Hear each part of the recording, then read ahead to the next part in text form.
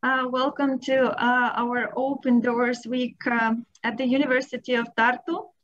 And today we are having an info session about master's programs in business analysis, economics, and uh, mathematics. And my name is Anna, and today I'm going to moderate the session. And uh, here with me, I have um, Jan, uh, who is going to introduce quantitative economics. I have Hakan, who is going to talk about the innovation technology uh, management. Uh, then I have Meelis, uh, who is going to introduce actuarial and financial engineering. And I have Kai, who is going to talk about wellness and spa service design and management.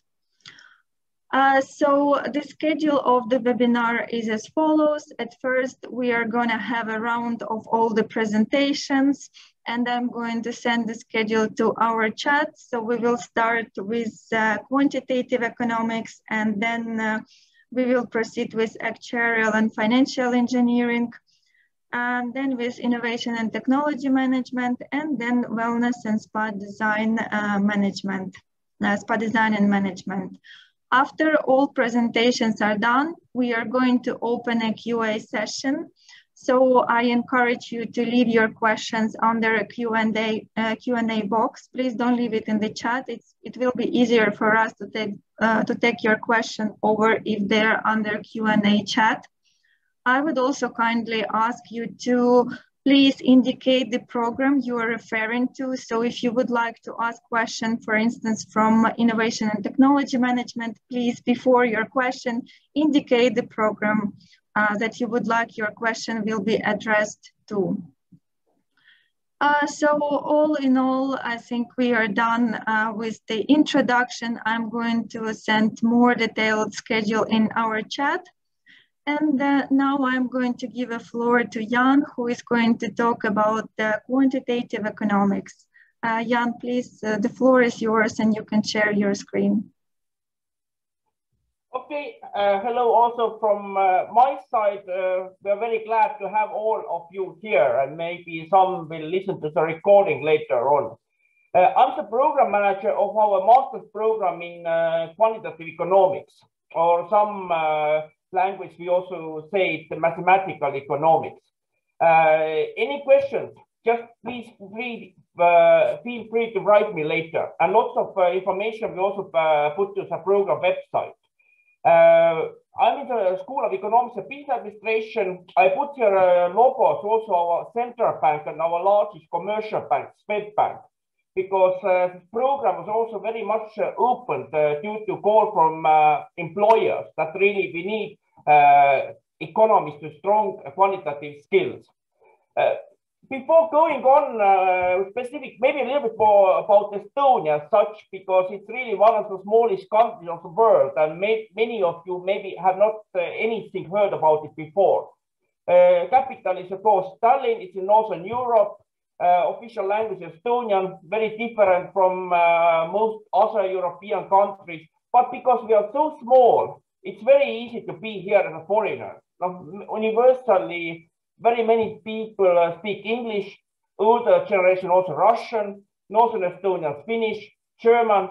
It's part of EU and NATO. So it also means that it's also very uh, easy to travel around Europe, for instance. Of course, currently it's pandemics, but let's be optimistic. Things should be already much better in the fall term. And Estonia has been quite high position in many international rankings in terms of internet freedom, economic freedom. Like in some, maybe I've heard it's kind of post-communist economy, but in some rankings it has been named as one of the most success, successful ones or the most successful post-communist economy a bit more about one of the most digitally advanced countries in Europe. Like, for instance, most public services are digital. For instance, we do voting, uh, local go government elections or parliament elections online. Uh, very active startup uh, activities. Uh, maybe you have heard about Skype, if not anything else, but many other companies like Bolt, that is a main competitor of Uber in many countries, for instance, in Africa. Uh, TransferWise, so it's one uh, fintech company. Many of the fintech companies are very small ones, but some Estonian ones actually been able to uh, grow. So it's a really very high uh, dependence and uh, on IT and computer science that we also use in our study programs. Uh, because Estonia has made quite fast development. Now, of course, it means that we are not the cheapest country anymore, but still it's quite affordable living cost if you compare it, for instance, to many uh, Western European countries. And if you get the residence permit for studying in Estonia, it means that you can also work here during your studies part-time or after graduation. For further details, of course, please look separately. And uh, that's a very peaceful uh, environment lots of personal freedom. That is uh, what my students have said. So that uh, I'm born here. But if you want to know more about, just ask uh, uh, some other people currently studying in Estonia. University of Tartu is very old, from 1632, established by King of Sweden.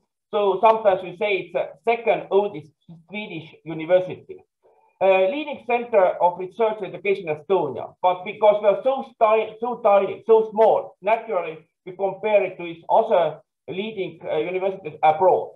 Uh, it's kind of average size university, about 13,000 students, but we are already very international. Uh, students from close to 90 countries of the world, or maybe now already close to 100. So if, even if you come uh, from our terms, uh, from relatively uh, far away or for us exotic places, there is probabilities that you may meet some somebody from your home country. Like uh, I have a PhD student from uh, former PhD student from Turkmenistan. He has made, uh, met some people from his country. So we have several people from Ethiopia, El Salvador, Costa Rica, just name it. Uh, we have quite many study programs and very many degree programs in, in English. It means that even if you have some specific uh, interest, in my case, I work with economists, uh, economic students. Still, uh, there are many other things that we study in addition. Uh, Tartu has also made quite uh, big, large progress in university rankings. Many students say they actually they follow these kind of things. Uh, and for instance, uh, no, Times Higher Education ranking now in the top 300, but basically, if you look at regional rankings like Eastern Europe and former Soviet bloc and then basically Tartu is either in the first or second place in, uh, in this region. Uh, my program, uh, Master in Quantitative Economics, basically a very broad idea to prepare highly qualified analysts, but it could be also stepping stone, let's say, for managerial positions like uh, central bank governors that typically also have master or PhD in economics. So it could be public sector, government agency, banks, there are also lots of uh, fintech companies, startup companies, uh, international organizations, but they quite often actually also require PhD on top of it. Many people work in different consultancy firms, think tanks, uh, and PhD, very popular among our uh, graduates. So basically what is, uh, what's important, uh, application of economic models and econometric methods. we do everything 100% in English, but you can also have a possibility to study Estonian and many other languages. Uh, we are quite a new program, and so we try to, uh, also other programs, always listen to students and see that what can be improved and consider your feedback. And some uh, our inter internal evaluation rankings were quite high place.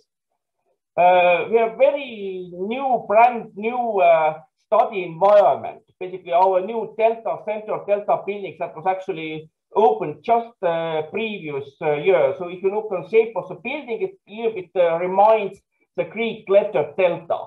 That is why one reason why it has such a name. So you can see it's uh, lots of greenery outside uh, surrounding, but actually it's a town center.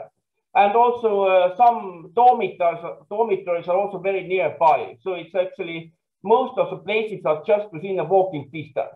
So it should be many uh, dimensions really very comfortable uh, to be here and study here. Uh, something like the dormitories, also most uh, dormitories are very recently renovated. Uh, they should also be, be quite affordable. Like uh, you can check for home page, but maybe a little bit more than 100 euros. So I heard places like, let's say, Paris or London, where you may need to pay, let's say, five times more and get worse conditions. So it should be really quite uh, good conditions and lots of uh, services that the students may value, like uh, bicycle parks, different abilities to do different sports and so on. But for further information, you can check on the website. application, that's like in all our master's program. Deadline 15th of March. Uh, we know that there are lots of uh, difficulties due to pandemics. So we were told that uh, they are considering whether it's possible to extend the deadline. Don't take it for granted, but if you're really late uh, with your papers, uh, just follow uh, the website. we make decisions by 15th of May. In my program, quantitative economics, there are 30 study places, 18 with tuition fee with no tuition fee. It means you get, you get the scholarship that covers tuition fee. But uh, if you also look at other programs, pay uh, attention to the conditions of specific programs. It differs program by program. Some in some programs, uh, most of students have to pay. And application is very simple. In many other universities, much more complicated, but basically what we look into is your motivation letter and average grades of a BA study. Uh, admission requirements bachelor degree. It doesn't have to be in economics because actually some of our best students have come from, for instance, from computer science or mathematics or some other fields. Uh, but what we require is that you have done uh, previous studies in uh, quantitative subjects, nine ECTS or nine grade points in mathematics and six in statistics. Uh, and always, if you are in doubt whether you qualify, easiest is if you write to me send the copies of the transcripts and I will inform you. Easy thing to do. And also we uh, uh, have English language proficiency requirements. Please pay attention to it. So for instance, even if you studied previously in English, uh, that might be sufficient, but need not to be. So please pay careful attention to this requirement as well. Uh, I already said about the tuition fee. There are various scholarships. So some countries uh, can um, get possibly Minister Foreign Affairs scholarship, like some uh, former Soviet Union countries and many, not all African countries also ended, but because this information is still to come. Already when you're here, it's possibility to apply to different scholarship for University of Tartu uh, Foundation. Uh, there are some scholarship from DORA, uh, there are also some uh, scholarships for the best students based on academic performance, some awards for uh, best master thesis, some students work as teaching or research assistants. Uh, and as in many programs, the essential part is practical training in different institutions like central bank, commercial banks, uh, ministries, think tank. Uh, and you can also do it uh, abroad in some other European countries and get the Erasmus scholarship for it. So different opportunities for scholarships. Uh, very short is a structure. Uh, we have two basic models, so basically lots of compulsory courses on top of studies.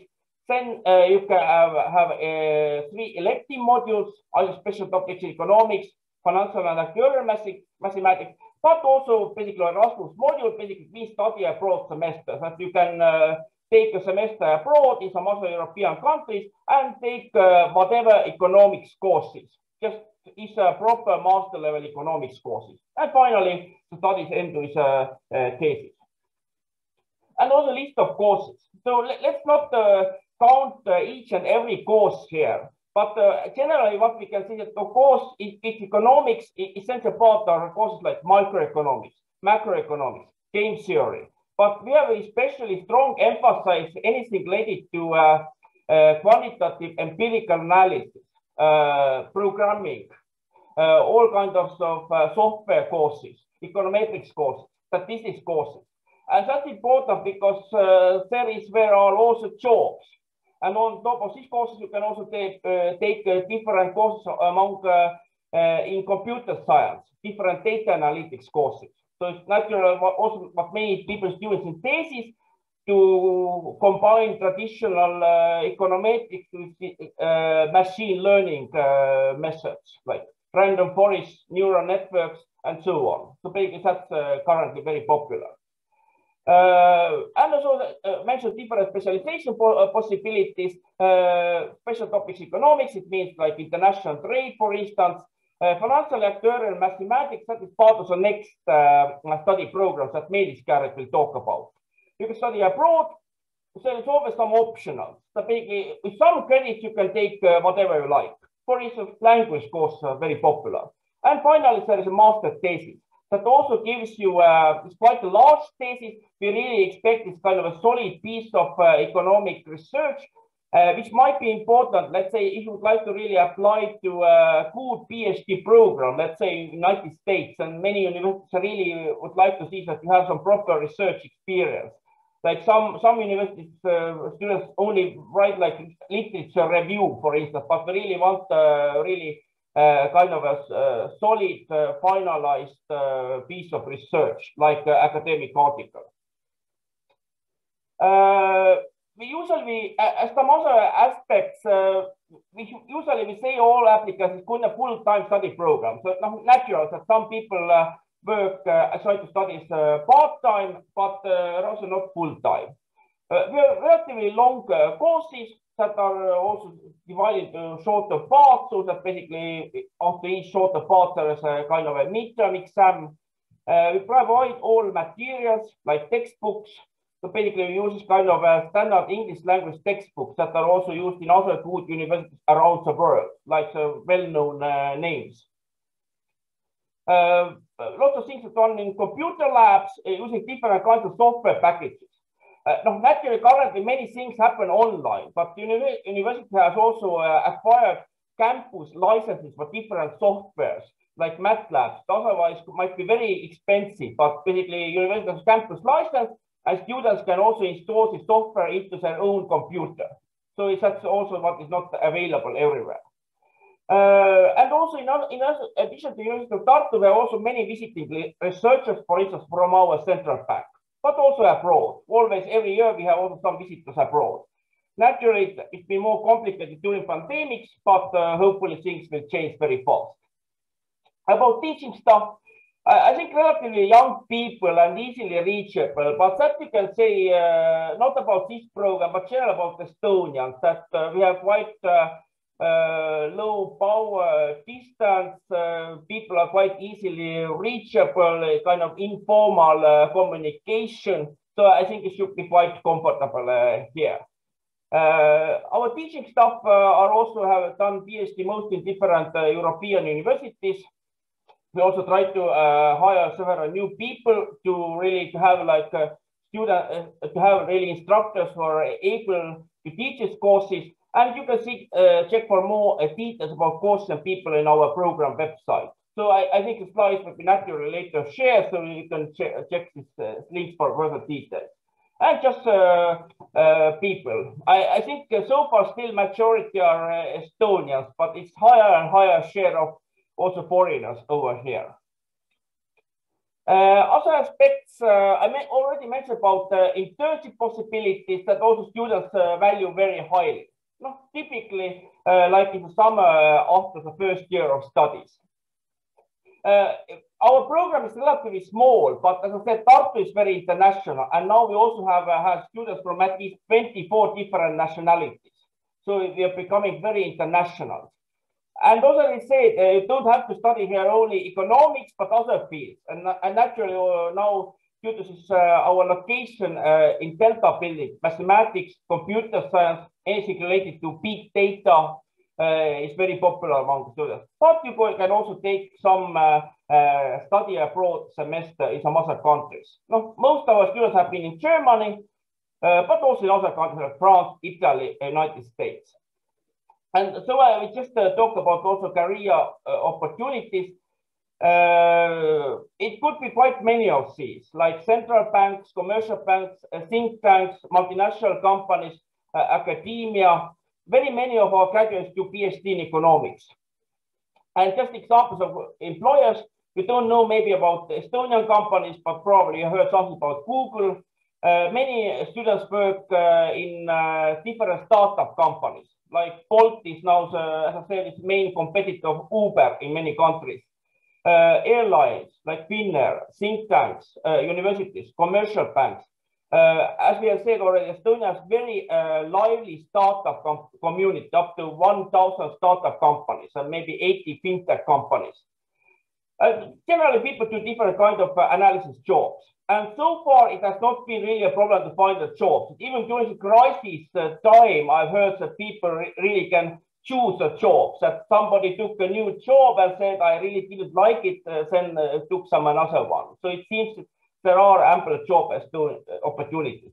It's very uh, what where people work in this country is very program specific, but actually our alumni most do it in Estonia. And you can see for details in program uh, homepage. Uh, and also you can check on our homepage uh, for some graduates their particular stories, where they come from, what they did uh, previously, where they work currently, because that's also maybe more interesting than I, I would uh, uh, continue uh, speaking here. And finally, have also program Facebook page where we also sometimes try to post things. So I think I already took the, talked a little bit too long, so I will stop here. And in case of questions, write the chat. Thank you very much, Jan, for such a nice overview about your study program.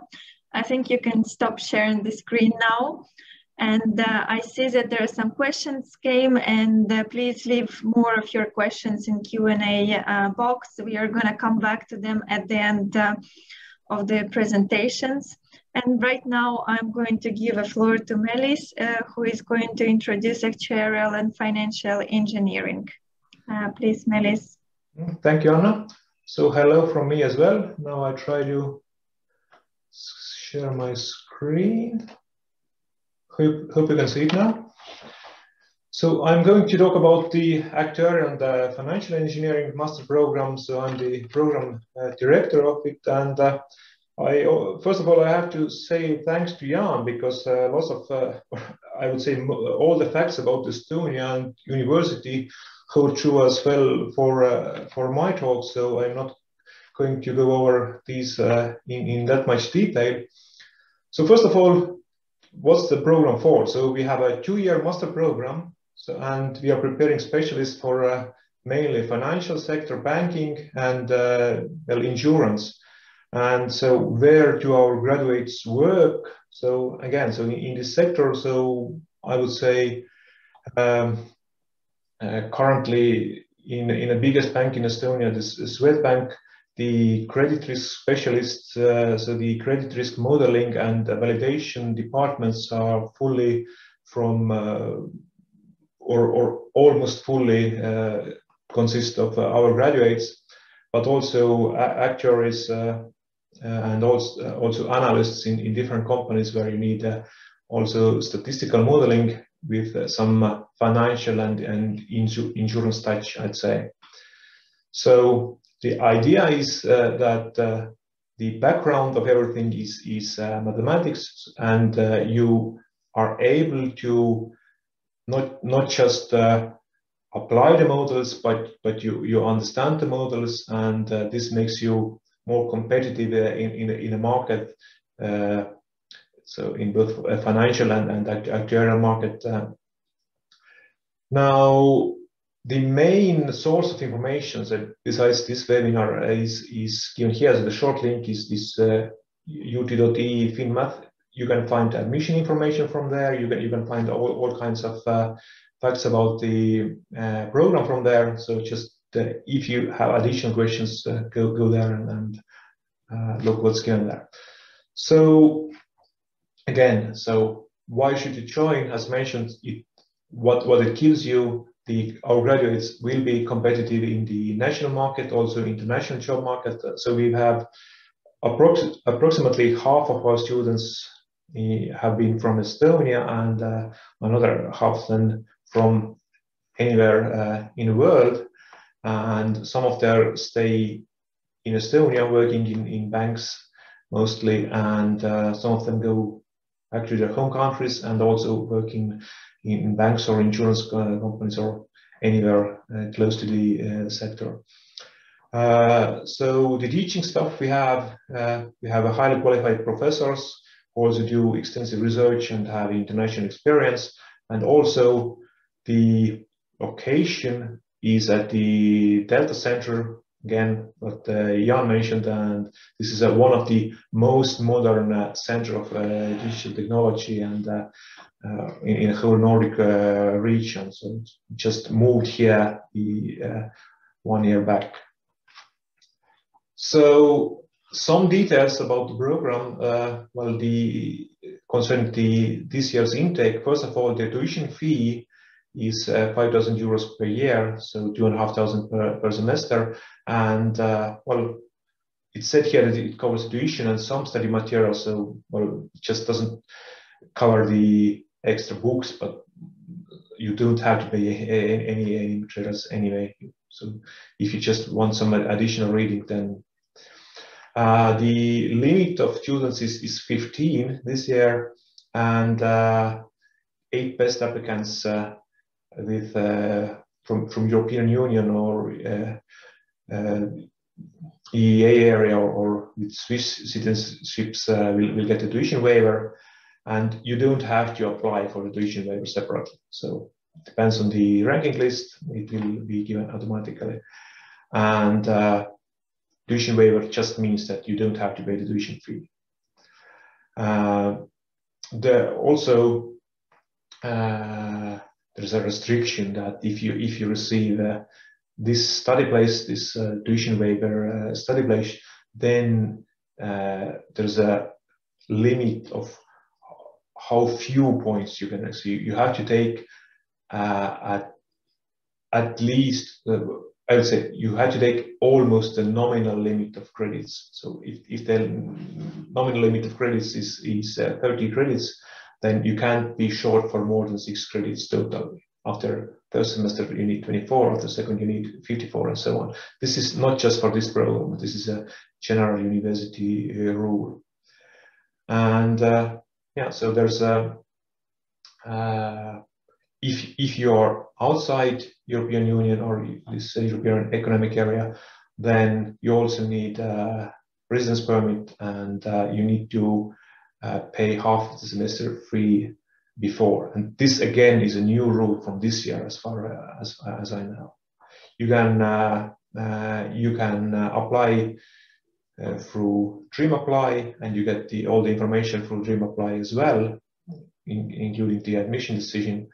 And uh, there is a possibility to although you don't have the possibility to ask for tuition waiver if you're outside uh, those countries EU uh, economic area of Switzerland but you still have a possibility to apply for DORA grants. And uh, again you don't need to do anything extra for that this is just few few best uh, in, in the ranking list can uh, can obtain this grant so what are the learning outcomes or, or what you get from here besides uh, they explained where your possible uh, uh, work will be.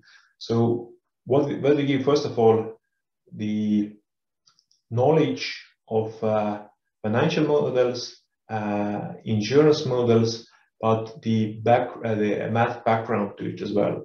So you need you know how to solve practical problems but not just by using the software, but you also have the understanding uh, behind it. So if, if you need to, if you face uh, problems that are not textbook exercises in practice, and that's most exercises or most problems you face in, in, in practice, then you are able to solve them as well. So you, you know the background, so you know how to, you have to adjust your models or, or what kind of different tools to apply.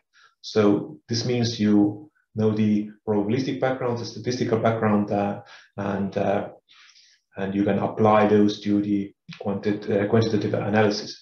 I think I don't have a, a, special slide for the requirements, but this uh, uh, because you you get math uh, behind everything, then there's also assumption that you have passed at least uh, math for at least uh, 24 uh, ECTS credits before.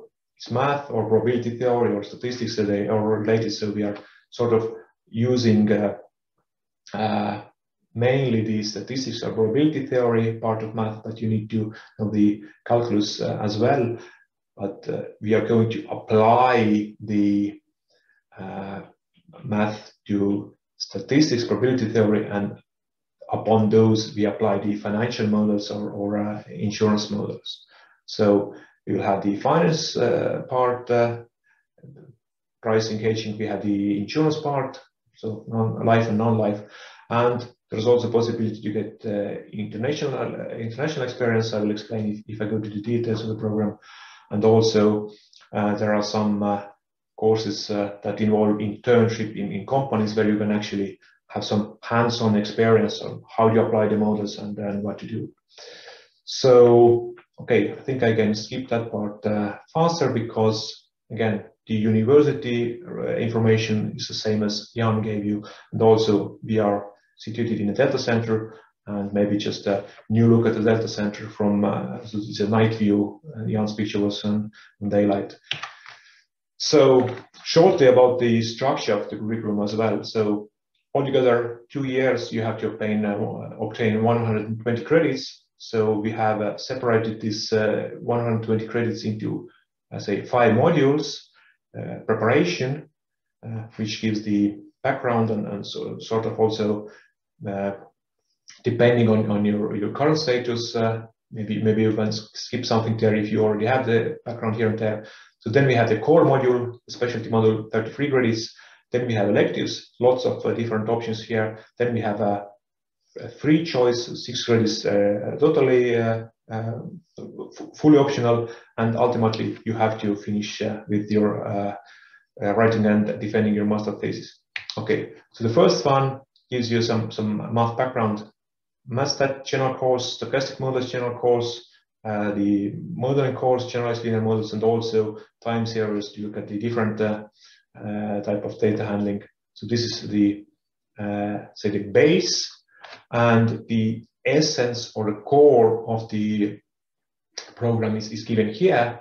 And again, I'm not going into details, but there's about half. So the, the insurance courses, the say life insurance, non-life insurance, uh, oh, sorry, two parts of a life insurance, non, uh, non-life insurance, risk theory. So martingales is somewhat related to both. And then you have computational finance, uh, and then you have uh, models in financial mathematics and simulation methods in financial mathematics. So this is the uh, financial uh, part. So about half and half, depending. so give, giving you some uh, knowledge in, in both main directions we have here, the actuarial part and the financial part. And uh, the most choices you have, as I mentioned already before, is, is in, in module three, where you have the electives. So first of all, there's a master seminar. Okay, so this is what you will take when, you, when you're also writing your thesis. There's a possibility to have two month uh, full-time internship in uh, in uh, in a company. Uh, and there are some, some more courses which may may prove useful, especially maybe this new course from uh, this year, this statistical machine learning.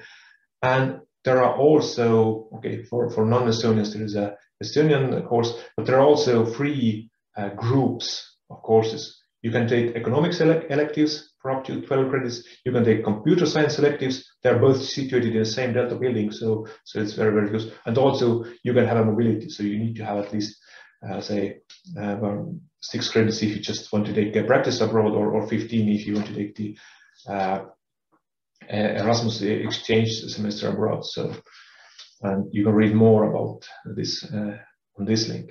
Okay, economics electives, quite a long list. Uh, many of them were covered in, in Jan's talk already. So you can choose which topics interest you more in economics and uh, take this from here.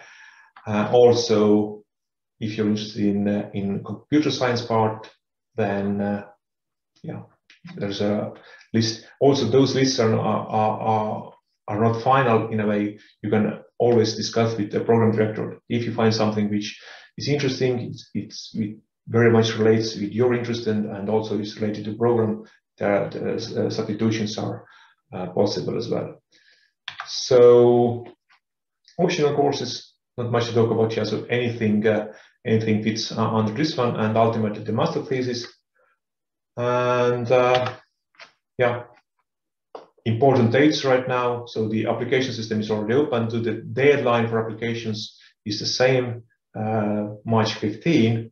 So you get uh, final admission re results uh, May 15, but probably actually before. So this is the very very final day. We try to we try to work faster see how it goes. And this is in August when the academic year starts. So if you have questions, if you have problems, if you want to, if you need additional information, just send me an email or again, look at uh, this uh, ut.ee FinMath when you have all the program details. Thank you. Thank you very much, Meelis, for your presentation and the overview of your program.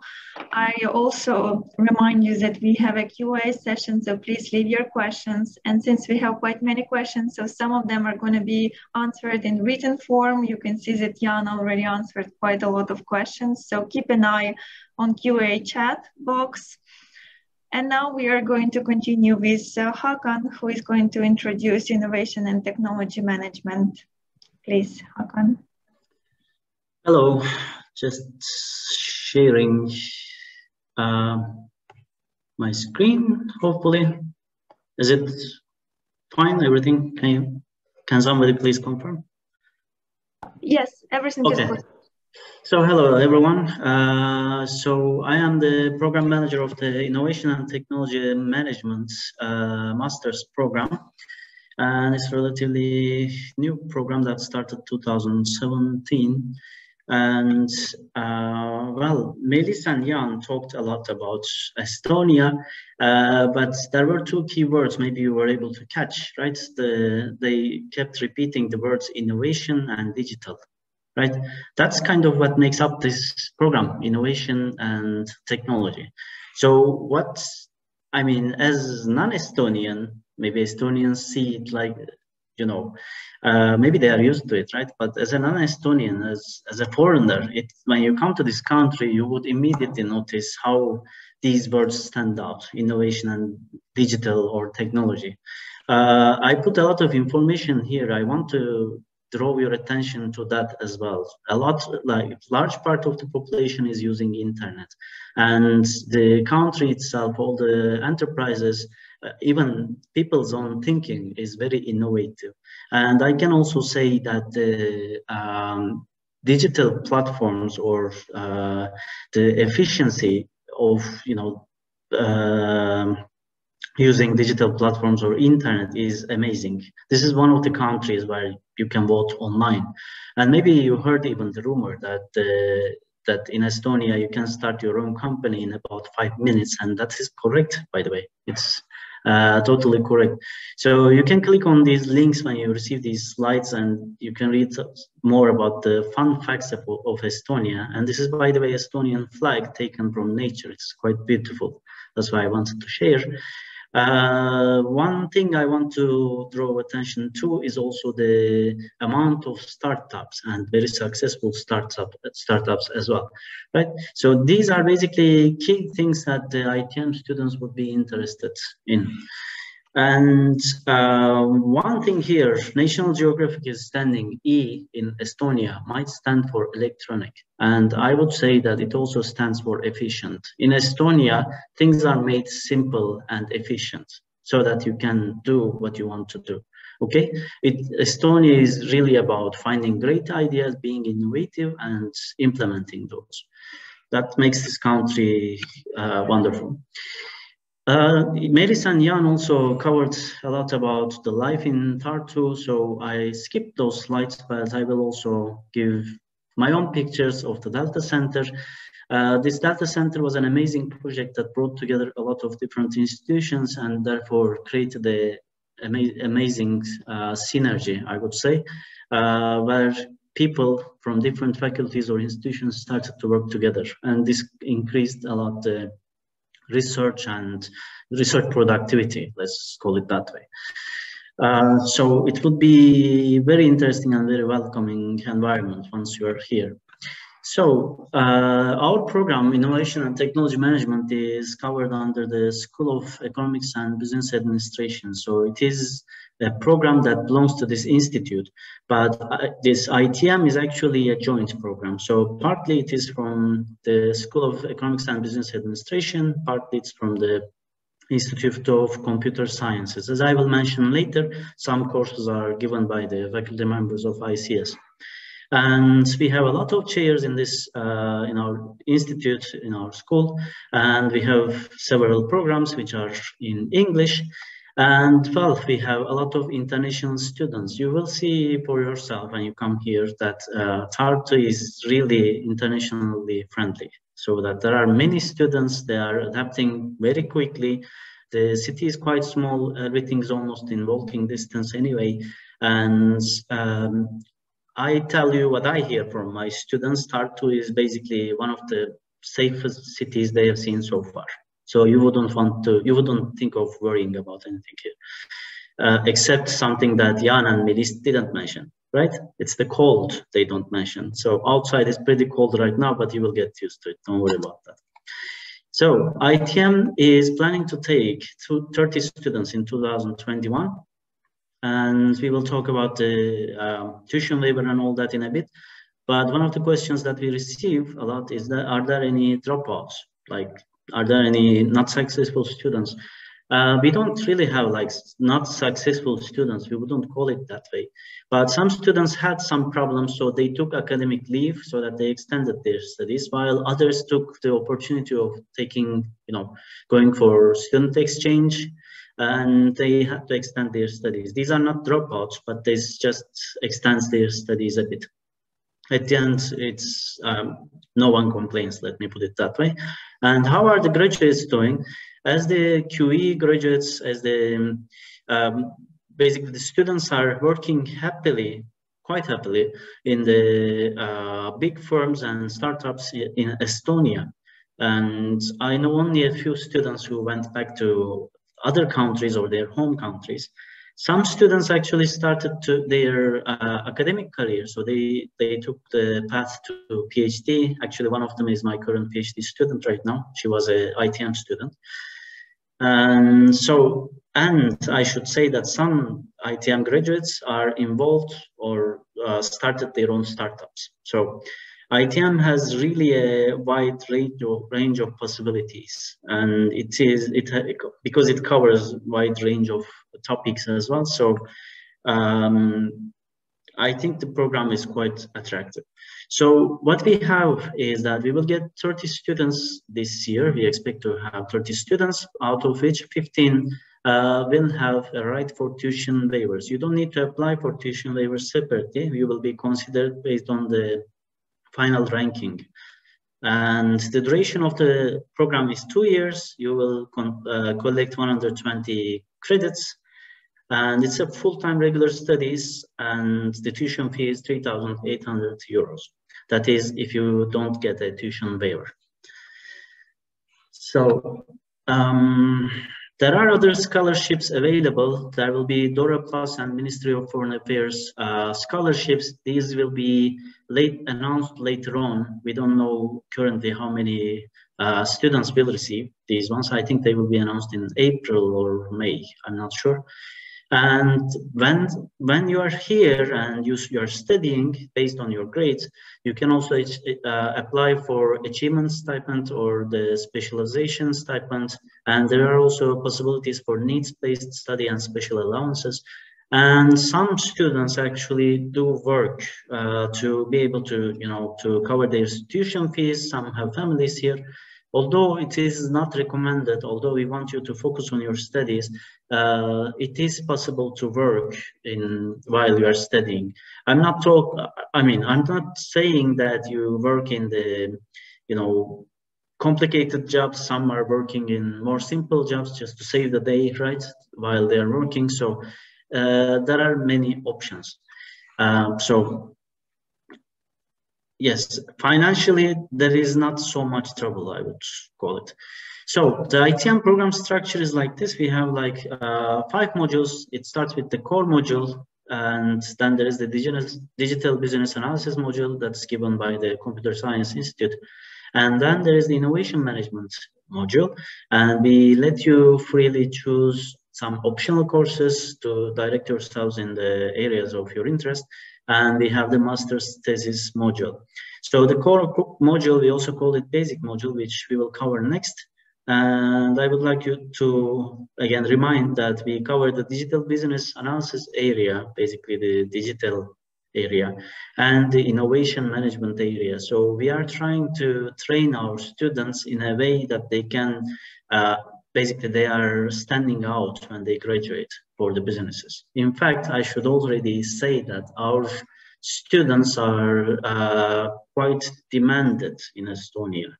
Uh, I, by experience, I can say that many of our students found the jobs that they wanted uh, before even graduating. Okay, so that's like the, like mostly it is like this. And the basic module or the core module uh, basically gives you the tools to that you will use for in the other modules. Uh, it gives a general understanding of innovation. What is innovation? What how like how would you understand that? Some tools as like uh, statistical or econometrical analysis, uh, decision making and choice behavior gives you an idea about the customer behavior. And data managing, uh, visualization and communication will be teaching you how to use RStudio to communicate, to analyze and communicate about data. And introduction to programming will give you like basics about Python programming. And there is the practical training where you will do internship in the company you will choose, or there are also some courses offered here uh, where you can do the practical training and uh, we recognize the the work there. The digital business analysis is basically giving you the opportunities to analyze and improve companies' performance and to introduce ICT related uh, stuff to different fields and applications. So uh, basically what we are giving you inf information about here is the uh, how to digitalize, right? How to use digital um, approaches for the businesses. And uh, I should point out, this is one of the standing out uh, points of the ITM program. If you uh, do quite good with these courses listed here. If you get a grade C or higher from these courses, and if you do some practical experience, if you get some practical experience through internship or through work, then you can apply for a certificate in digital business analysis. And that opens quite a lot of doors in the business life in Estonia. The second specialty module is the innovation management, where we uh, cover the basically uh, um, information about innovation, how to implement innovative ideas in the in the companies or in public sector, what kind of problems you may face, and how to you know what are the strategies to grow your own firm, grow the firms. Uh, we cover all these things with these courses. And there is the master's thesis module where you are supposed to compile and defend independently written scientific research as in the other programs. And master thesis is 20 credits. And we have the master's seminar course, which provides the information and prepares you to, to start to work with your master's thesis. And we give the uh, six credits for optional courses our students uh, have different interests and they specialize in different fields. I know some ITM students specialized uh, towards data science, data analysis, while others specialized in marketing, for example, or innovation related field. So you can use this opportunity to take courses on, uh, on the topic that you want to specialize. We also definitely recommend Estonian for beginners. This is uh, this you wouldn't uh, believe maybe, but, but, this opens a lot of doors as well if you know some Estonian. It's much better looking than if you don't know Estonian. And also, we have econometrical analysis course, but given that we accept uh, students from, you know, backgrounds which is which may not be related to economics, we understand that you may be lacking this background. So we do recommend that you take the introductory econometrics course uh, before the econometric analysis course. Those were just suggestions and there are many other courses. You can also take, for example, courses related to um, uh, machine learning, for example, if you're interested in that stuff. So the application is quite uh, straightforward. The online application is via DreamApply, or if you're an Estonian, for uh, through the system SAIS. You need to write an essay. This is what I will talk about. It's important. And the official copy of the diploma and transcript, the proof of English language efficiency. Um, please check the website for proof of English uh, English language proficiency. Um, you may have bachelor degree, you may have your native maybe is uh, English, but you know these rules apply and we can't do anything about that. Please check the website for that. And a copy of the passport page and confirmation of the application fee. So the deadline is March 15th. Please click here. You will have the slides. Please click here for more information if you haven't looked at this already. So the entry requirements, the, this is one of the points where I receive most questions. Uh, we would want our students to have economics or mathematical sciences or technology sciences background. This doesn't mean that we don't accept other backgrounds, okay? Uh, but we receive many applications and most students have these backgrounds. And I should say most successful applications have these backgrounds. And if you don't have such a background, but if you have taken courses of, or if you have some job experience related to ITM, right? Um, then you can, you know, write to me to confirm, or you can simply apply, uh, kind of like showing that you are related actually to ITM, and you will be considered. Of course, for example, if uh, if your background is remotely related to ITM, then uh, you would expect that the chances are lower, right? And we were already talking about English language efficiency. So the evaluation of your application will be 60% on the essay. We will talk about that and 40% of the previous study level GPA or average grade, okay? So if your GPA is lower, please note that 40% of the grade will come from there. It reduces your chances. So overall, the maximum score is 100 points, and based on that, we will rank the students, and a, a, an admission, sorry, a, an application is considered to be considered for admission if the score is above 66. Otherwise, it's not considered. So what does the motivation letter consist of? This is important, basically. Uh, one, um, one point where people are confused about is 3,000, 3,500 characters is characters, not words right? So every letter is a character. So please don't get scared by this number here. So you need to write a motivation letter, basically written part, which explains what kind of areas or topics in ITM, innovation and technology, uh, are attractive for you and what kind of um, master's thesis you expect to write. You should have a novel and relevant idea here okay? And please try not to find it from somewhere else because what you can find from internet we can find as well. So please be authentic. Please it should be your idea okay? That's important and the description of the innovation and technology career that you would like to follow. So as you can see you can be expect to receive a signal here how much you are related to ITM so that's kind of what we expect and we also expect you to present a, a, short video CV. So you should include a link to this video recording, okay, in your application.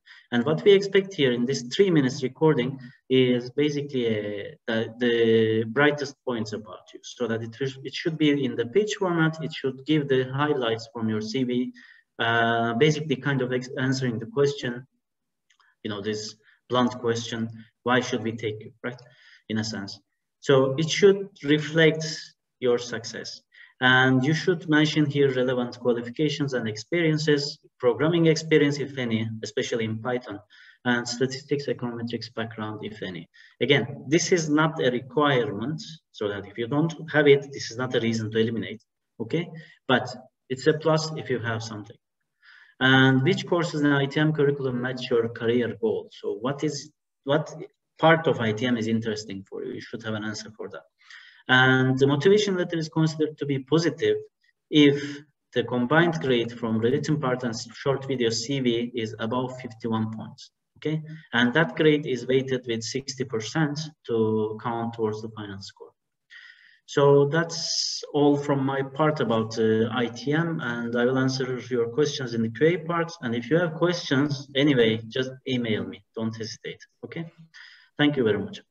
Thank you very much, Hakan, for so nice overview of your program and the application process and the deadlines. Uh, I just remind our participants that you're going to receive all of this presentation. So you're going to have the contacts of all program directors.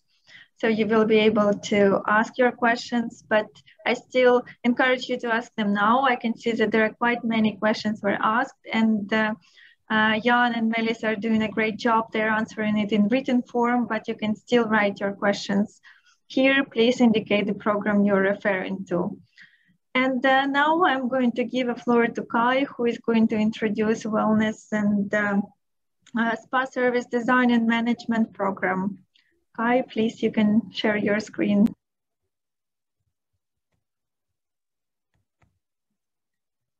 Yes.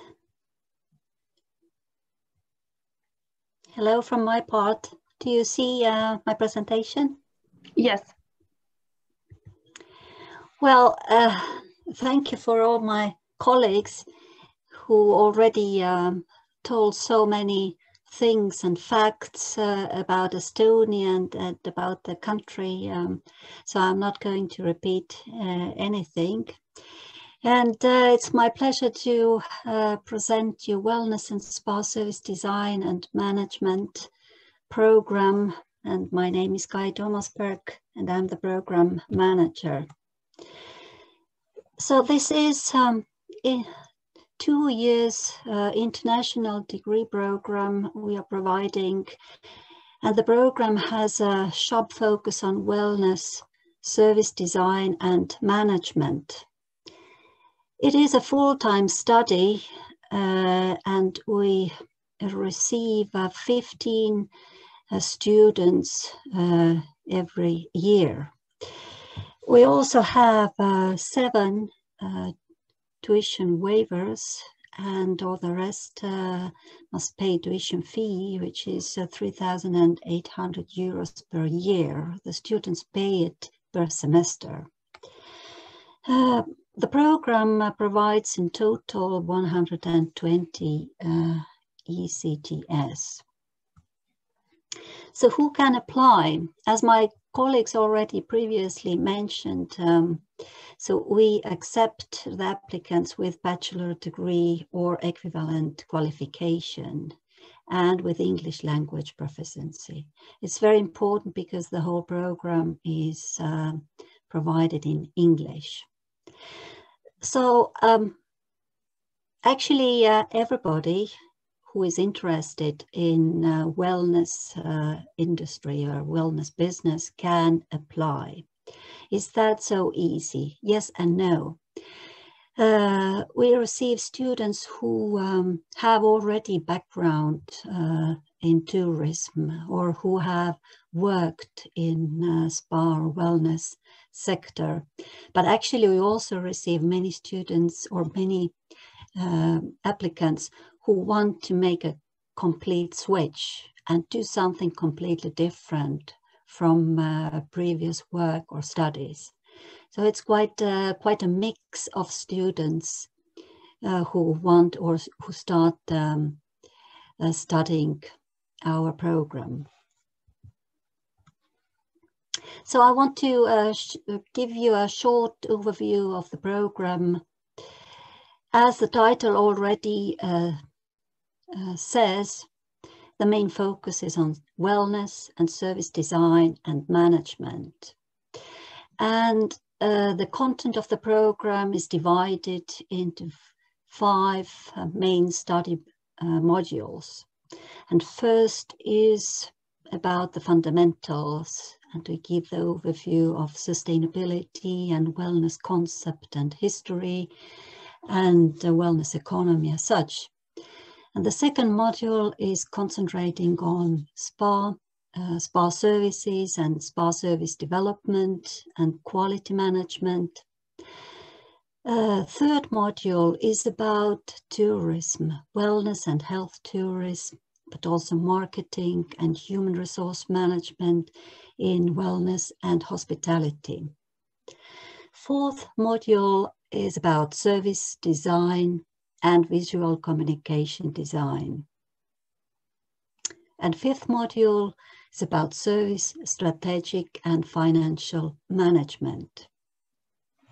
I would like to say that uh, service design um, tools and methods are included to many different courses and it creates a backbone of the whole program. Additionally, there are electives uh, and research methodology that prepares the students for a master thesis. The third semester, the students have opportunities to go abroad and to study in different um, universities. So our students like to go to Finland or Italy, Hungary, Sweden, or even to USA. There are different funds available for exchange studies, internship and study visits in Europe and further countries. Internship fills a very important part of the whole program and it's minimum six to eight weeks, but it can uh, last up to four months. It is compulsory. And it's very important for all students to put new knowledge, what they have learned into practice and get a practical working experience in wellness and spa environment. We cooperate with international well-known spas and wellness centers. I can mention Six Senses Spa International or Charisma Spa Wellness International and many others.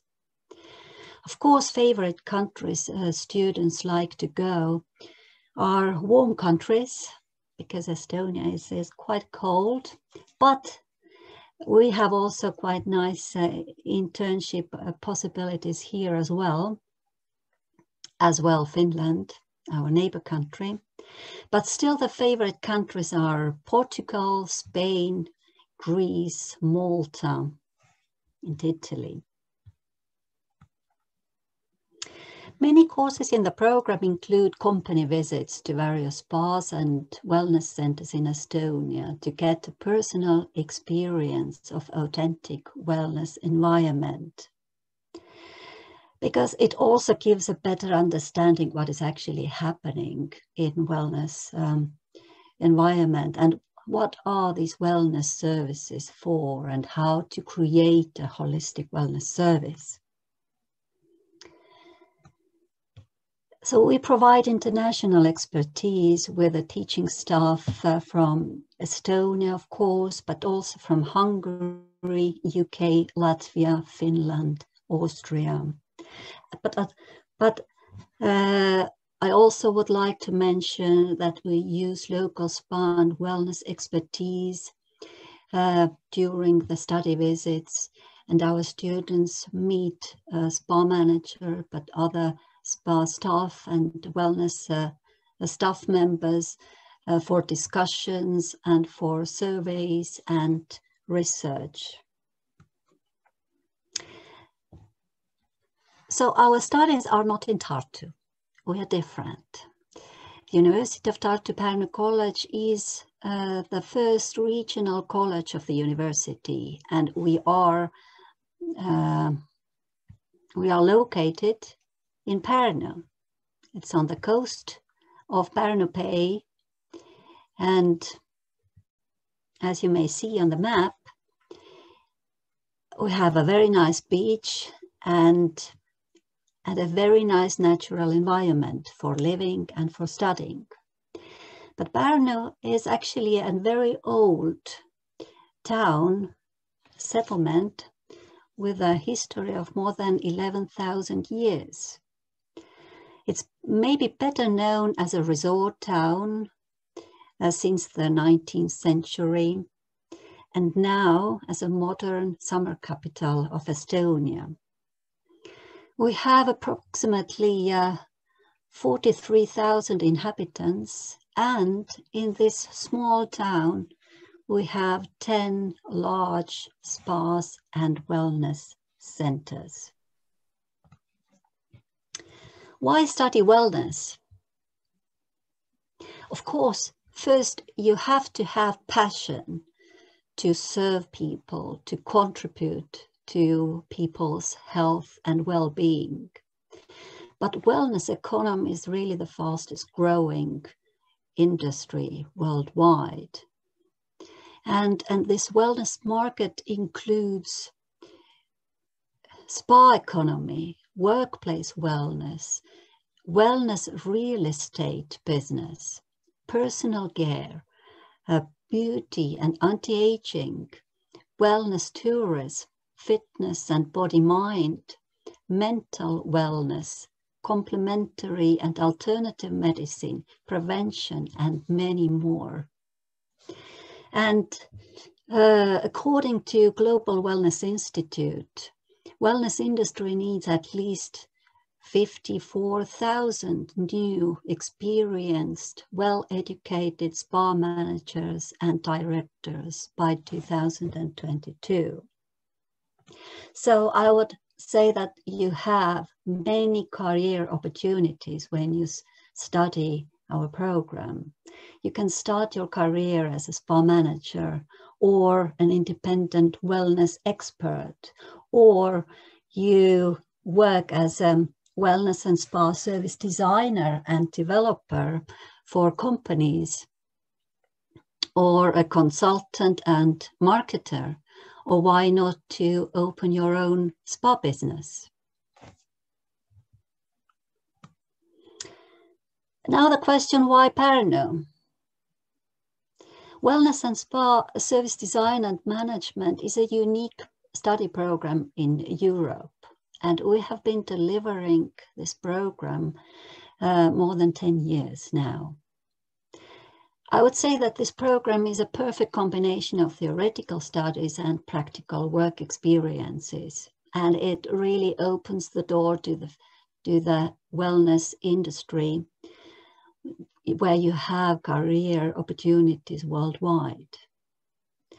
Our study groups are small, uh, 15 students we accept uh, every year and you have immediate access to international experts and lecturers. And the study environment, it is peaceful, safe, and green. This is a nice image of Pärnu. Uh, we are located uh, between the Pärnu River and the sea. And this blue-green living environment is really inspiring. See you in Pärnu. Welcome and thank you. Thank you very much, Kai, for so beautiful presentation, for showing the, the whole beauty of Tartu. Uh, thank you very much. I guess now we can open our question and answer session. We have answered quite many questions, but we still have time, so please uh, uh, write your questions in QA session, uh, Q&A, Q&A box, and uh, we will take them over. So right now I'm going to uh, read out loud the questions that uh, have been not answered, but please keep an eye, maybe some questions are going to be answered in written form as well. Uh, so you can also follow the order of the questions. Uh, so the first question, what is the minimum score to get accepted for the program? Since the program is not indicated, so I will give a word to every pro program manager here to answer. So maybe Kai, we can start with you. What is the minimum score to get accepted to your program? Um, I think you are muted. Yeah. Yeah.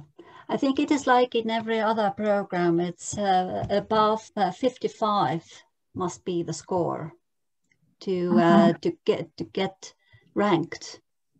And uh-huh. of course, as uh, as I told that there, there are 15 study places, so that actually it's based on the ranking. All right. Jan, what about quantitative economics? Is it higher or how the ranking for student to actually get the spot if I remember correctly, in our case, it was also, uh, I think it was a bit higher, like 60 or 65.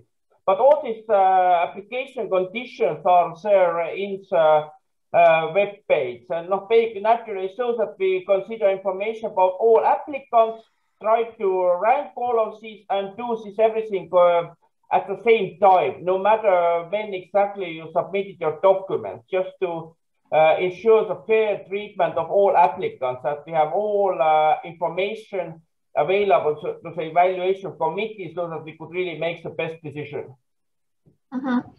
uh, Meelis, do you have anything to add uh, to this? Uh, I think the minimum is 66 credits. I, much, I, I, thought so far it's universities general, but maybe it's, it's our faculty's uh, number. Then the 66 is the uh, it's the 100 point scale and it takes into account your motivation letter and, and your GPA, so which is they're both uh, uh, set on to 100 point scale and, and averaged. And I think in, in our case, oh, it's it's I think 50 uh, percent by, by, motivation letter and 50 percent by by GPA.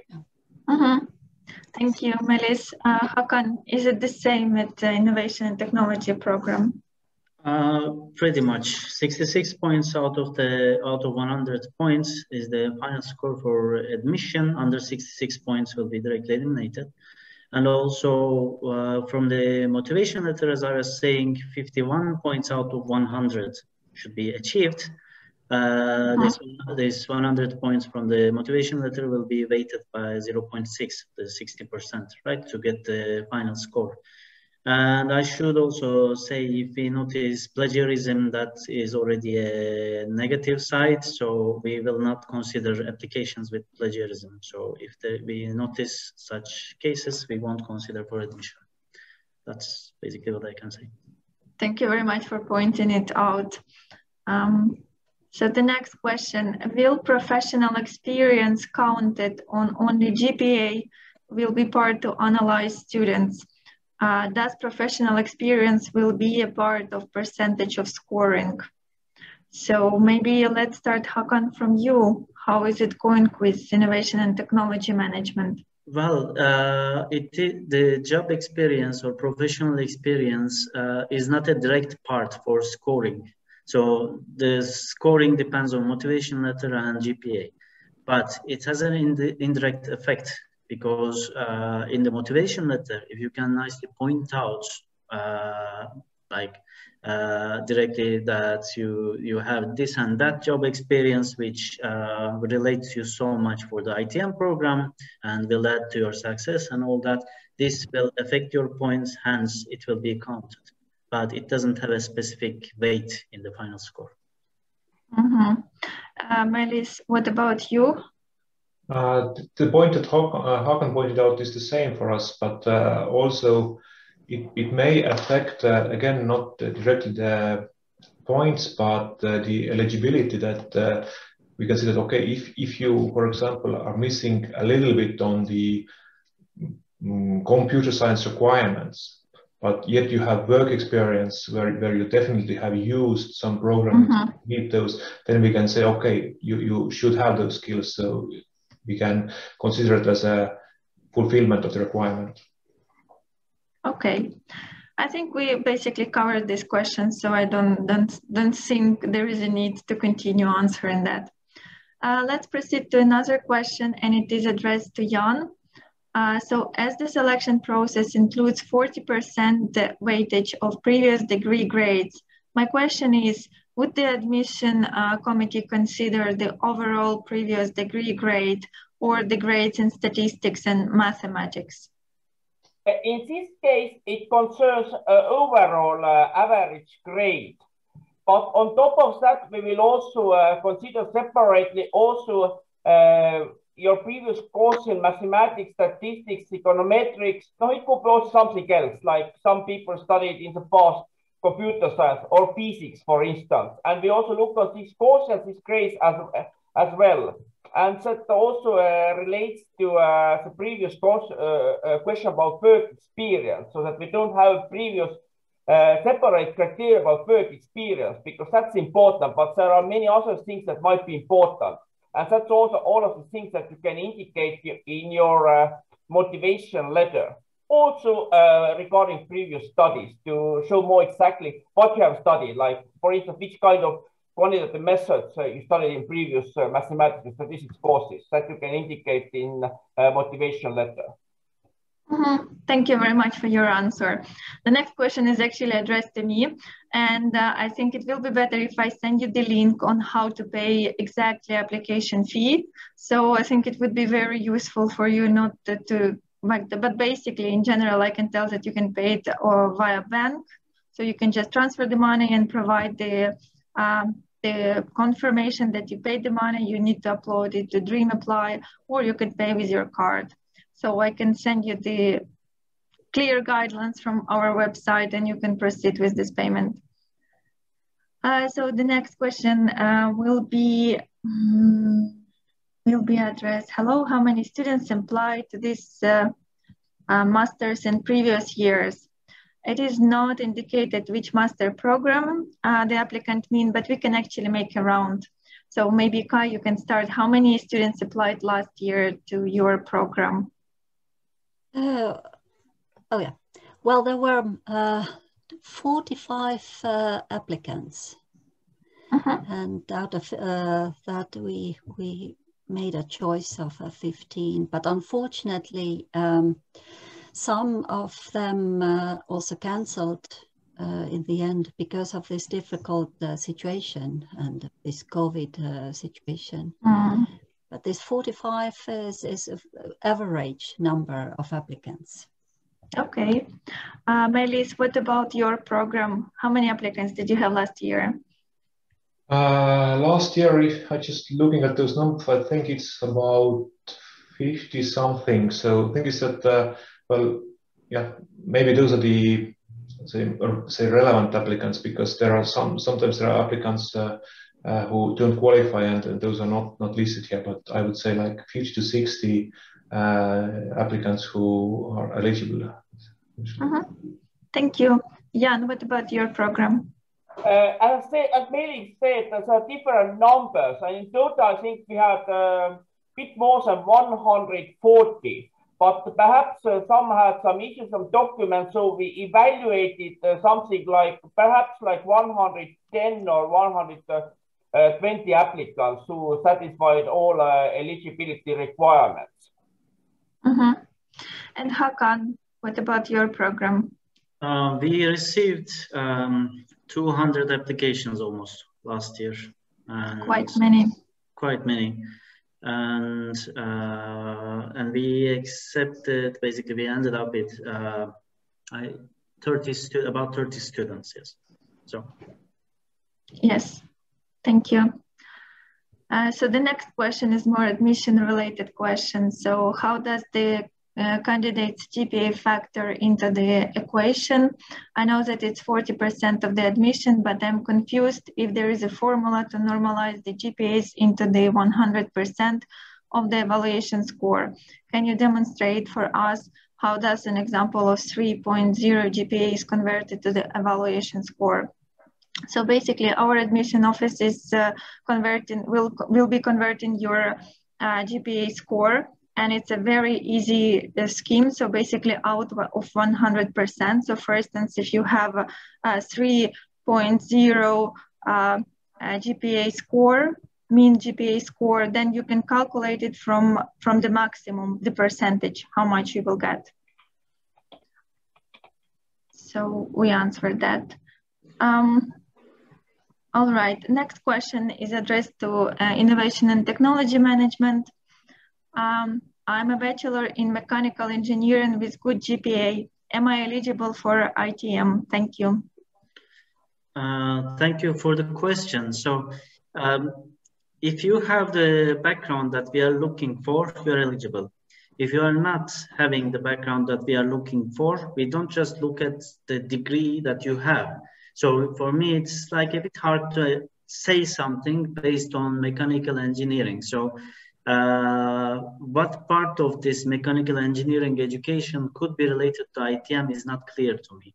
So if you have some specialization related to entrepreneurship still, if you have taken courses, if you have taken courses, I don't know, in statistics perhaps, uh, perhaps we could consider, especially if you have some uh, job experience related to ITM as well. So uh, it would be very nice if you could write me an email with some uh -huh. details.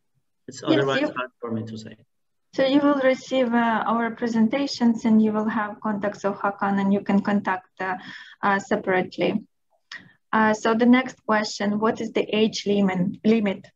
Uh, we don't have any age limitation for any of our programs, so you're welcome to apply at, at any age point. Um, the next question is uh, outside of the question. So unfortunately, I cannot connect it to another question. This question from Maerek, please uh, write it again, and then we will answer. In the presentation of innovation and technology management, you are picking uh, 30 you're only picking 30 applicants. Uh, Hakan, is that true? Uh, no, it's a lie. so what's going on is this, that last year, for example, I don't have the number for the previous year. I only have the number for last year, uh, since I was program manager last year when there was the admissions. Anyway, so we received about 200 applications, 196 to be exact. And out of that, we made offers. I think we made um, about 70, 75 offers, uh, which we call overbooking. And uh, only 30 students joined.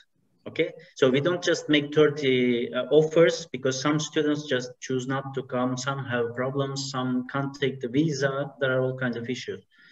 So we do offer more than 30, but we end up, we basically expect to end up, we have some smart calculations to end up with about 30 applicants. That's kind of the idea. Thank you very much for your answer. Uh, the next question is addressed to Meelis.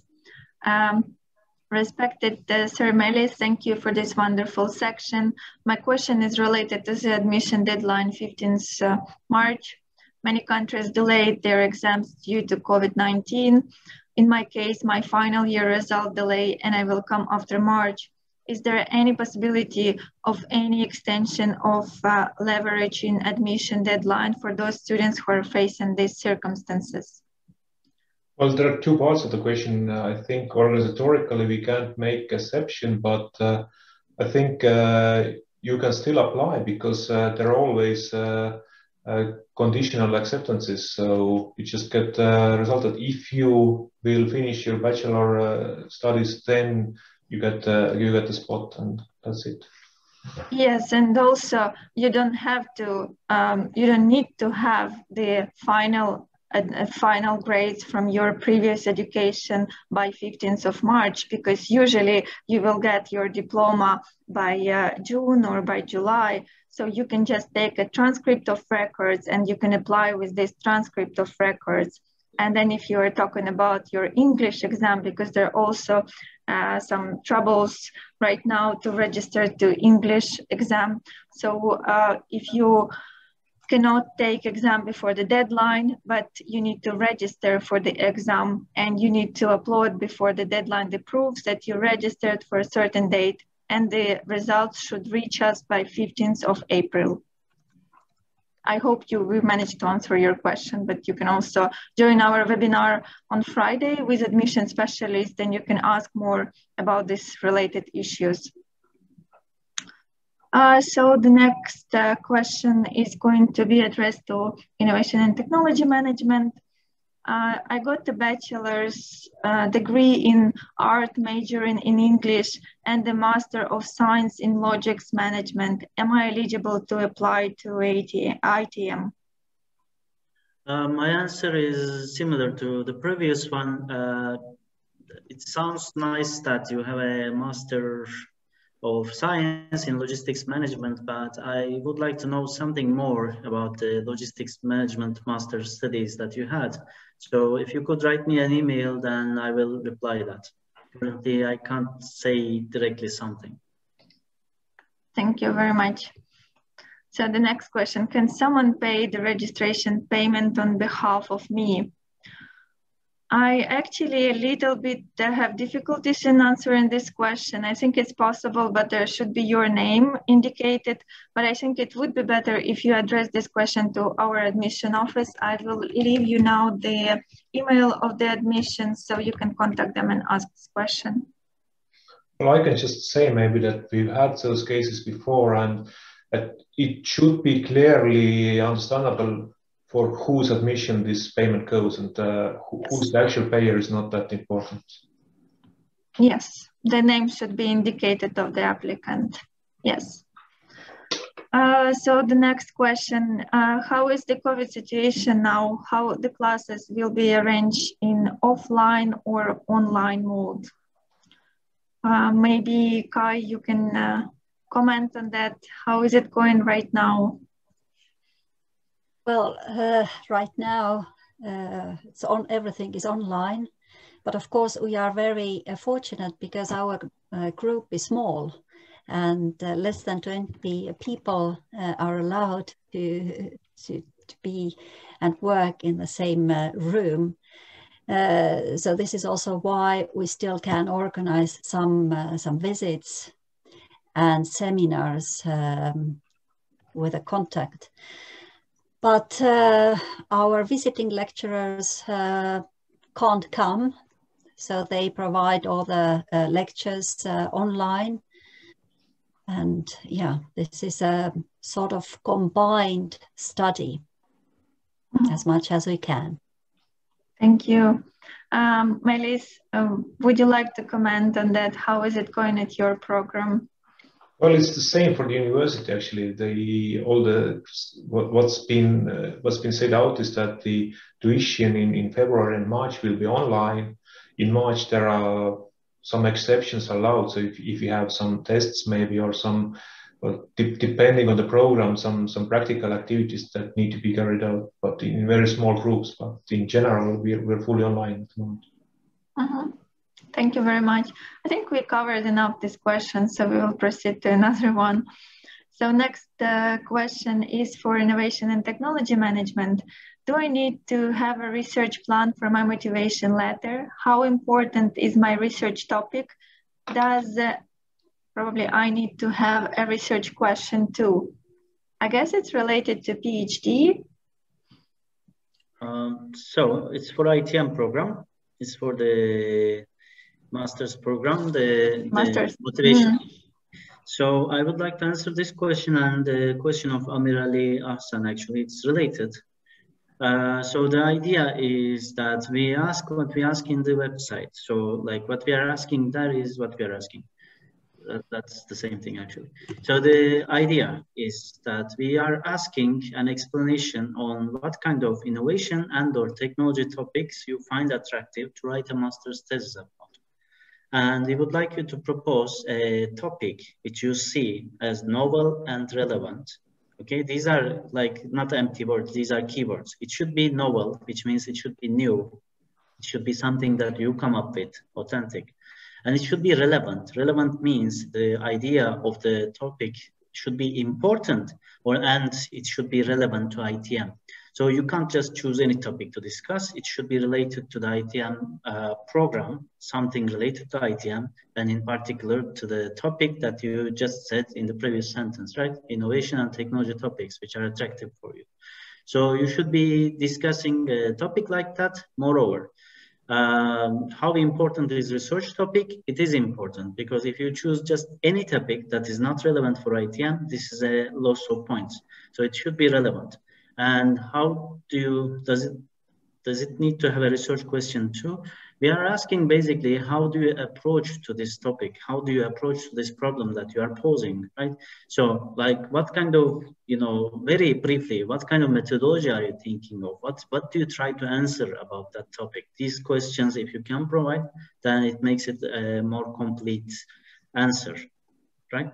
So in that sense, um, we would like you to like read carefully what we are asking and we would like you to you know focus on those points in the answer that you are giving in the motivation letter. I hope i was clear. If not please re-ask if something was not clear. I think hakan you also covered like the next uh, question about motivation letters so. I hope so. Yes. So i'm going to skip it. Um, Yes, so then there is another question. Hi, unfortunately, I joined late due to work. Uh, will you also share the recording after the session? Yes, we are going to share the recording and the presentations, and you will receive everything uh, soon via email. So we are done. Uh, this question we also covered. Uh,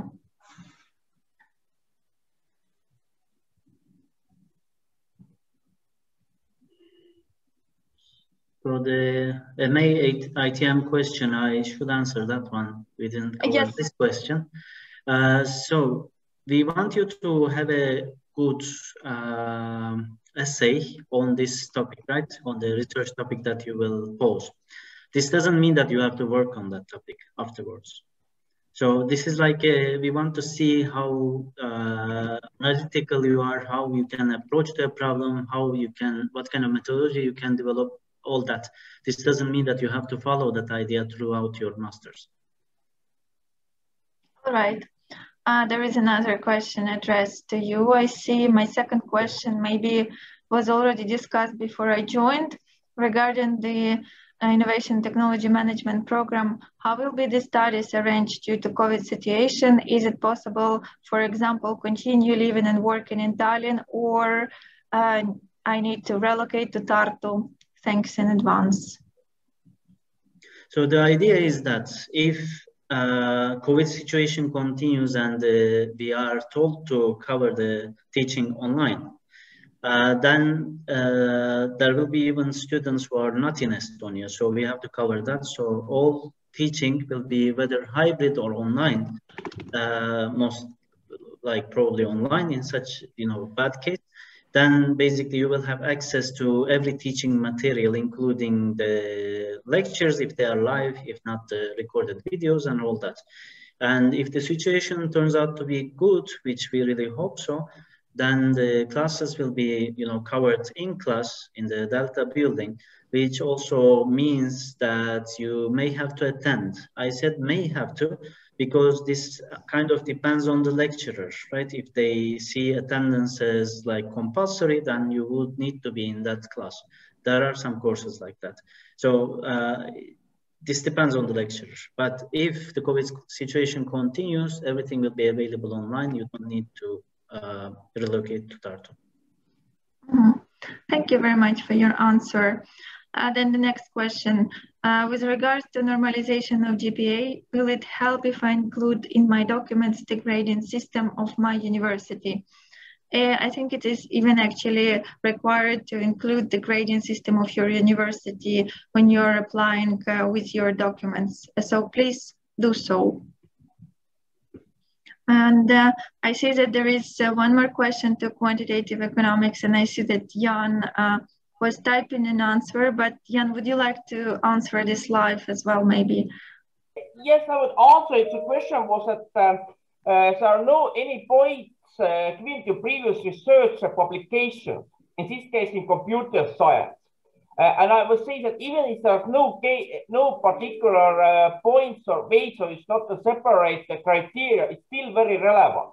And we didn't put the separate criteria because there are not very many different things uh, that are relevant, like previous publications, previous work experience, uh, previous studies, internship, studies abroad. So all these are relevant. So definitely as to publications, please mention these in your application documents.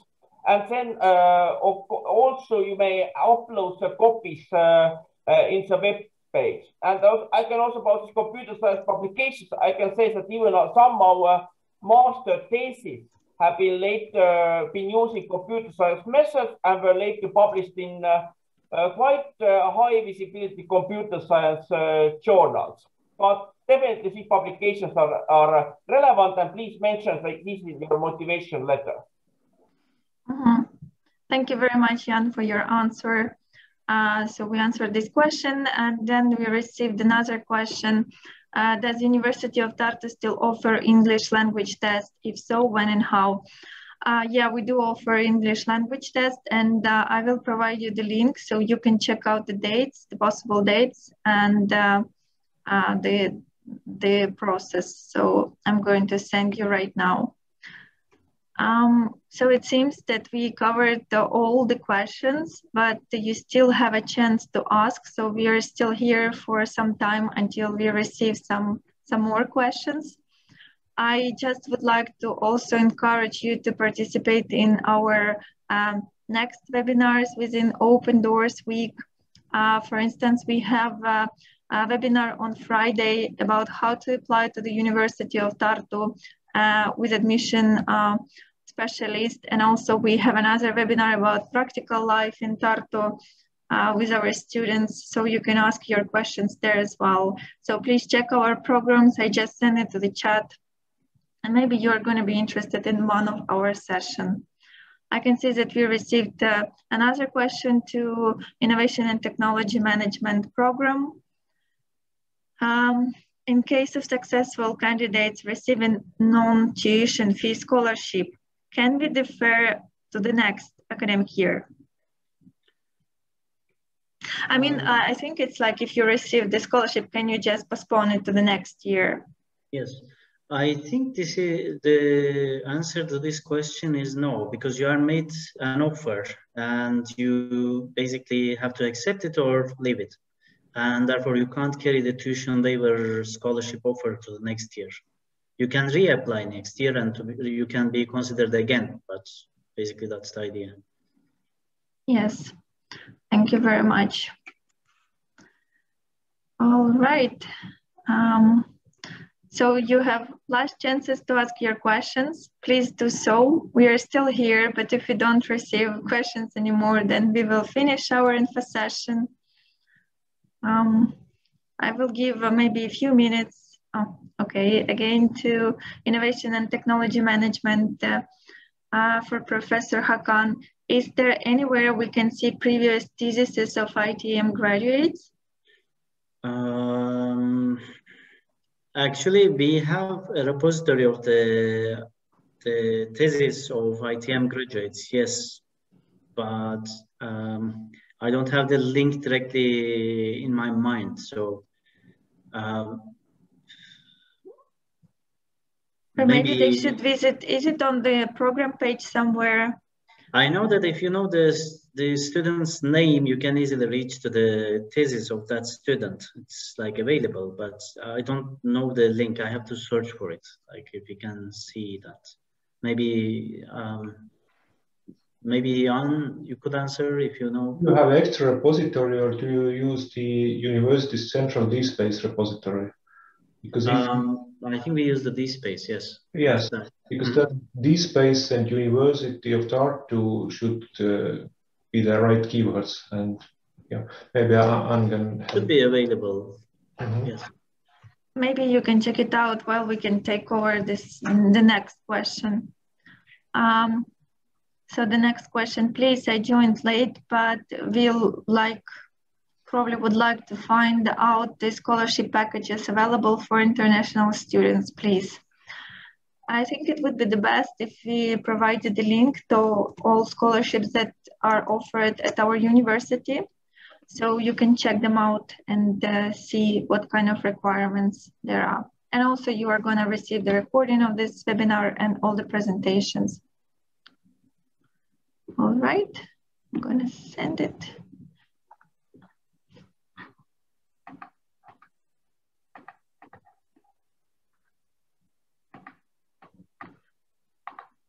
Uh, it seems that uh, we don't have questions anymore, but uh, you can still apply um, with your questions and ask us your questions.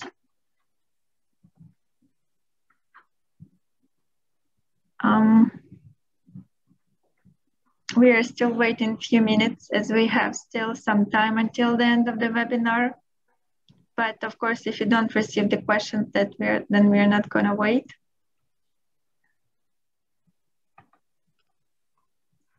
Um, uh,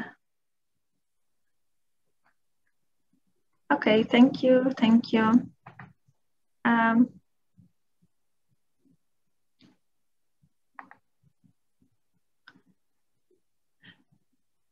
or maybe uh, maybe you can Hakan, you can maybe find this link later and then you can forward me and I will include it to the email uh, that I'm going to distribute after the, uh, the presentation.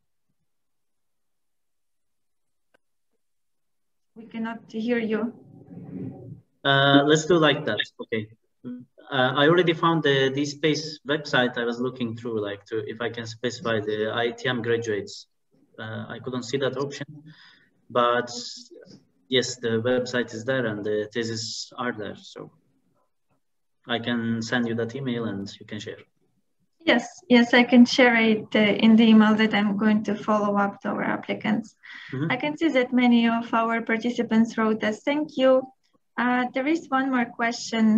Um, is there a need for course outline for our applications? Um. I honestly don't know uh, what, what do you mean by this question? Maybe you can specify so you are applying for a certain program and uh, just in, basically. In principle, I guess the answer is no, because uh, no, we already presented what is a, a program structure of each study program, but naturally in motivation letter, you may indicate further, let's say, what you're interested in, or what, for instance, what you would like to specialize, or maybe what are your plans for your thesis, for instance, or uh, career aspirations, who, who you uh, would like to uh, uh, work after graduation. All these things are relevant. Yes, yes. Thank you very much, Jan, for, for covering this. All right, I can see that uh, no more questions. Oh, there is a question to Kai. Um, can you give uh, information about the accommodation in Pärnu College? Yes, uh, thank you for the question. Uh, in Pärnu, we don't have any uh, dormitory, but we are working closely together with the local hostels and uh, and they are accommodating all our students. They are five minutes in walking distance from the college uh, building, and you uh, find information on the website of the uh, Pärnu College. So I can also send it later if possible.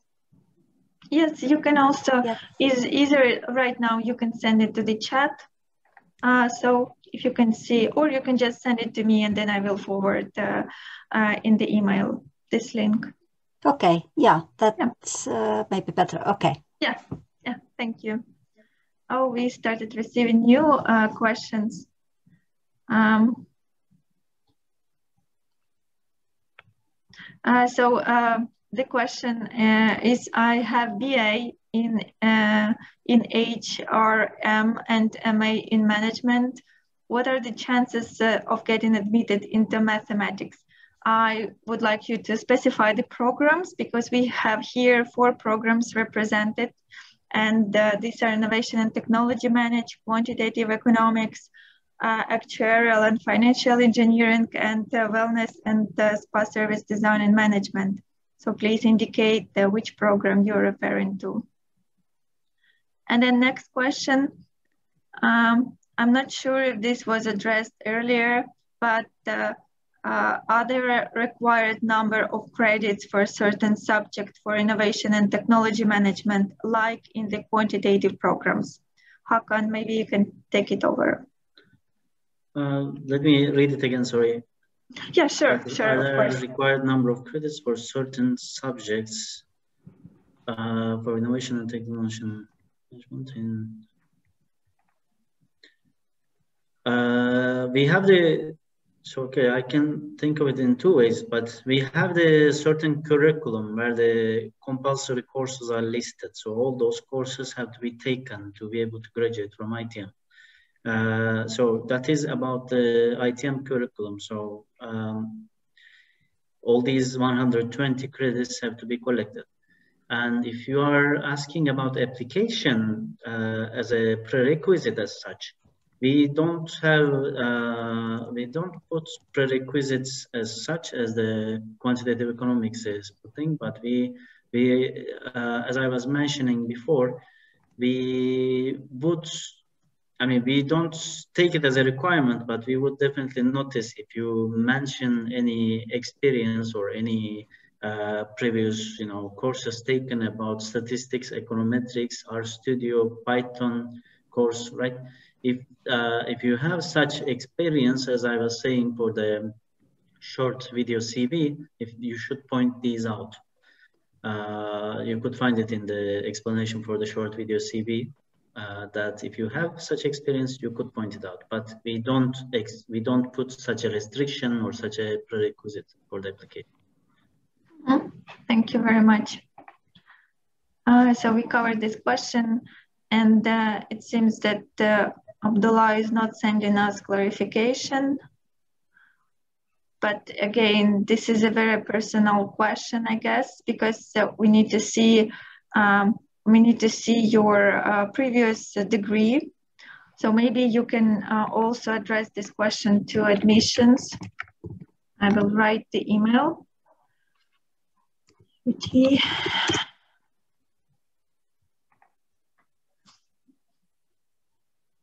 Maybe financial and actuarial engineering is, is the most most mathematics related, but uh, the answer is still that it depends on the transcript. So it's very difficult to say based on that. So we, we have to look at the transcript and evaluate based on that. The program name is well can mean very different things across the world. Yeah, yeah, definitely. Therefore, it would be better if our applicants just send via emails their uh, transcripts or their previous certificates so we can check them out.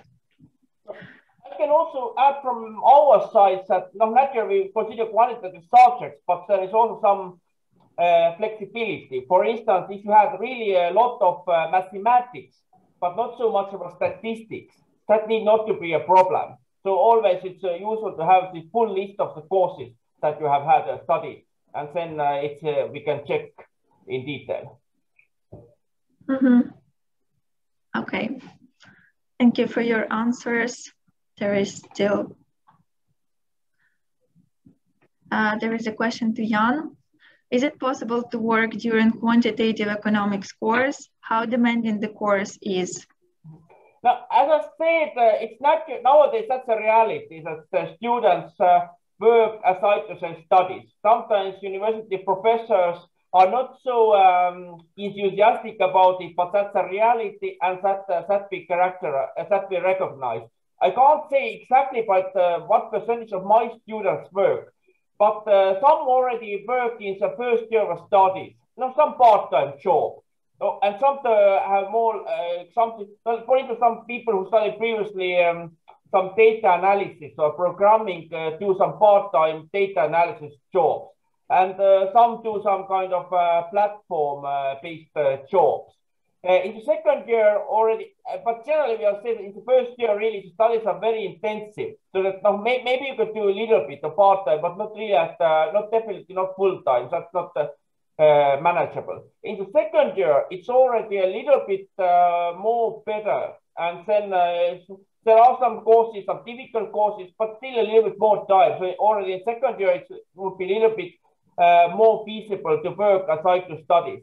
Uh, in the fourth semester, uh, spring semester, second year, we have only thesis to be written. So basically, even, then it would be even more manageable. And, and in the base case, let's say that if you work already some company and can connect the thesis with the work in the company, so that would be, of course, the easiest case.